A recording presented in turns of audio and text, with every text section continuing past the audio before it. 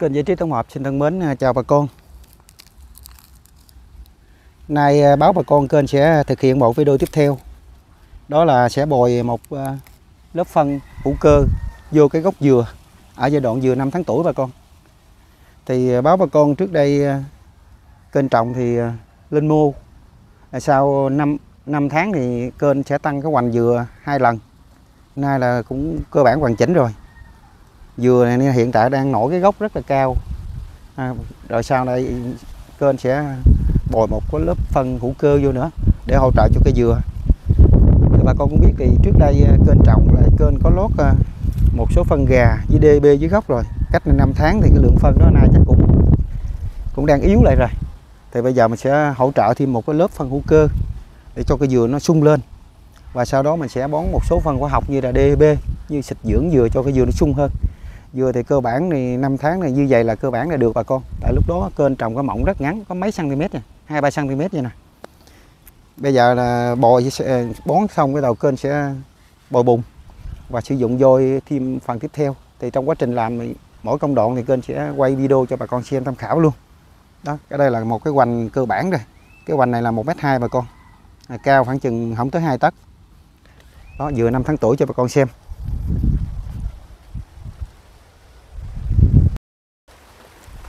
Kênh đang à, chuẩn bị một cái tấm bạc bự. Cái tấm này để à, trải lát vô phân đó bà con. Còn phía trước màn ảnh bà con đó là phân gà, cho trấu mụn dừa.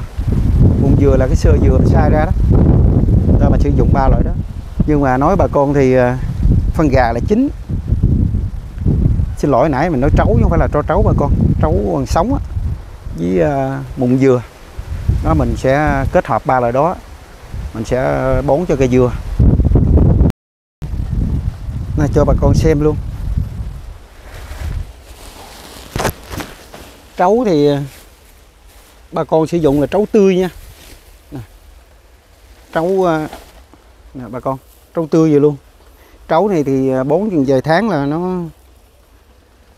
nó phân hủy hết nó tạo nó tơi xốp đất chứ lắm còn riêng ờ, bụng dừa. Để kênh sẽ lấy bụng dừa cho bà con xem luôn. Bụng dừa này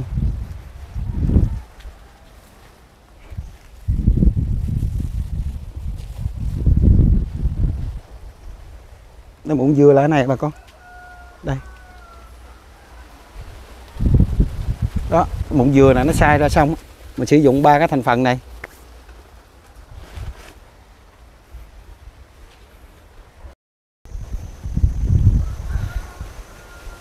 Thì ờ, như kênh đã chia sẻ với con.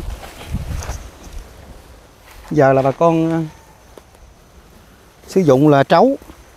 Nếu mà theo tỷ lệ mình pha đó, thì bà con tốt nhất bà con pha khoảng 10 bộ trấu. 10 bộ trấu bự như nè. Trấu này là trấu tươi luôn.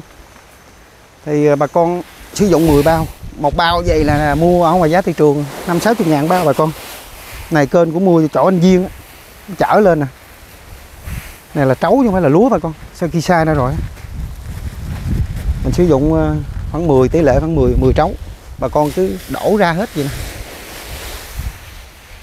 Đổ ra gì thì nó khô bà con thấy nó khô.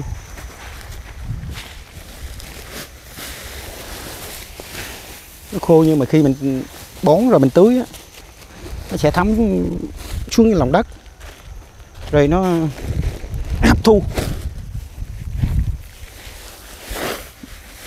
Kênh sử dụng nhiều phân. Tại số lượng dừa nó cũng hơi nhiều.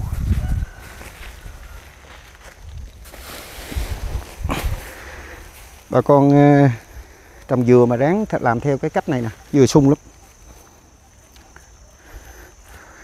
Vừa kết hợp phân ờ, DB DAB vừa kết hợp phân ờ, hữu cơ trấu bụng dừa, mà phân hữu cơ thì bà con sử dụng là phân phân gà nha, phân gà tốt hơn.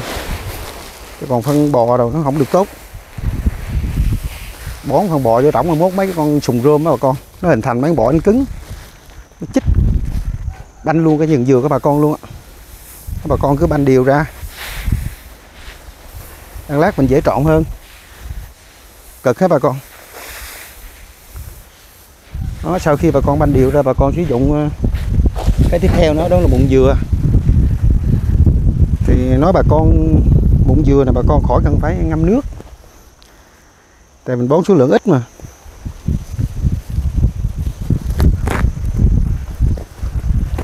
Bụng dừa này giá cũng năm sáu chục ngàn một, một bao vậy luôn. Chắc bà con mua bà con biết rồi. Bụng dừa này là cái sơ dừa cái sai ra. Năm năm bao bụng dừa bà con. 10 bao trấu, năm bao bụng dừa.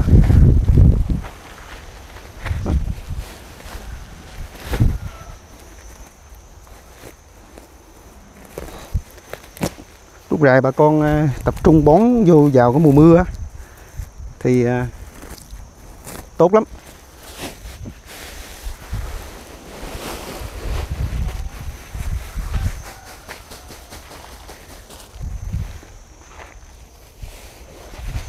Cái mụn dừa này bà con nó sẽ giữ ẩm. Nó sẽ làm tư sớt đắp lắm nhưng mà bà con không có được lạm dụng nó nha. Nó mà nhiều quá là nó mà nhiều quá là bà con sẽ bị uh, nấm. Đây thằng mụn dừa này nấm khủng khiếp lắm. cho nên bà con bón cái tỷ lệ sao cho nó trung bình thôi. Bón quá là nó nấm nó tấn công lên cây dừa mình nó gây uh, trái lá đốm lá vàng lá mà nặng nhất là nó sẽ bị thúi nhũng cái đọt dừa của mình. Nó rất là nguy hiểm. Nó cho bà con bà con nên tham khảo. Trồng dừa thì bà con cứ ráng đầu tư, làm. Mấy cái này cũng không bao nhiêu tiền, nhưng mà bà con phải làm. Bón cái dừa mình cho nó sung lên, cái dừa mình nó mau có trái bà con.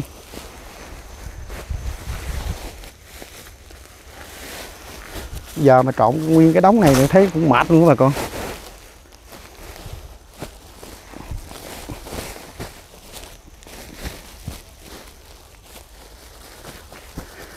Hiện tại là kênh đang làm mới một nửa, tại cái tấm này nó yếu quá. Xong rồi tới phân gà. Phân gà này là kênh mua của anh Duyên nè.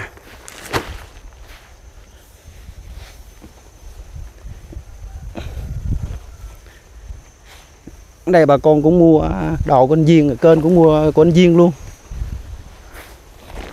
Đó phân gà. Bao giờ mười mấy ngàn bà con.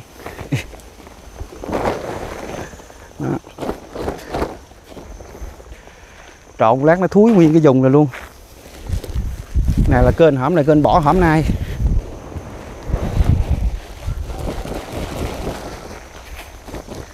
đó, chia sẻ cho bà con. Nói chung phân gà thì thoải mái. Bà con muốn bón mấy chục bao cũng được. Còn à, tỷ lệ trấu 10 10 bao mùng dừa 5 bao. Còn phân gà hai ba chục bao cũng được nha bà con. Cái cách làm như vậy đó.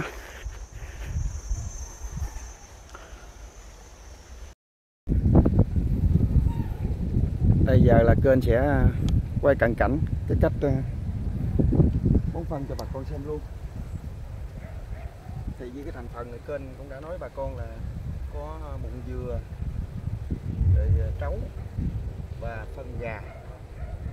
Đó, mình ba không hợp là mình đã trộn theo cái tỷ lệ mình đã chia sẻ đó còn cái dừa này giờ đang năm tháng tuổi bà con mua thì à, khoảng một mét mấy rồi đó cái đường kính của cái mô á đó mình bồi lên hiện tại thì cái gốc dừa nó đang nổi lên hết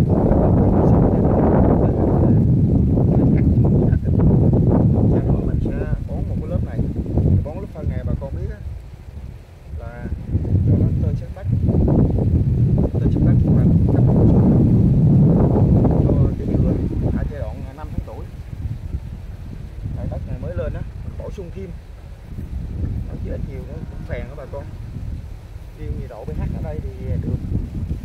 Mình để mình bón thêm số phân này. Bà con nhớ rải đều ra vậy ha. Quanh hết. Vài tháng là nó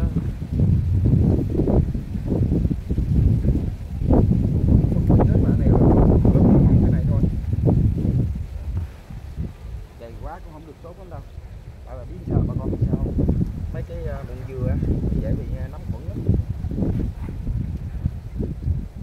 bón một lớp vậy khi bón về xong bà con. Bón về xong rồi mình sẽ thuê người. Bội bộ một lớp bùn lên. Các bạn nghe cái mấy cắt này luôn. Để cho cái ốc dừa mình dẫn lại. Để ờ, nó không bị ờ, sau này cái cách làm cho bà con thấy đó. Bà con cũng nên ờ, làm như vậy cho bà con. Làm cái cách gì như cách cũng nên nhận dừa sẽ sung cực kỳ sung luôn. Riêng dừa năm tháng tuổi bà con thấy là, nay nó cao cũng khoảng gần cả mét rồi mỏng rất là nhỏ mỏng khoảng chừng 3 cm có cái thì 4 cm cá sao tôi trọng thì như là rễ là rễ là rễ luôn rồi như cái mô này là năm nay là tôi sẽ không làm nữa ở dưới nó cao lên bằng cao lên để ờ, nâng cái cái cái lý nó cao lên Bà con sẽ bắt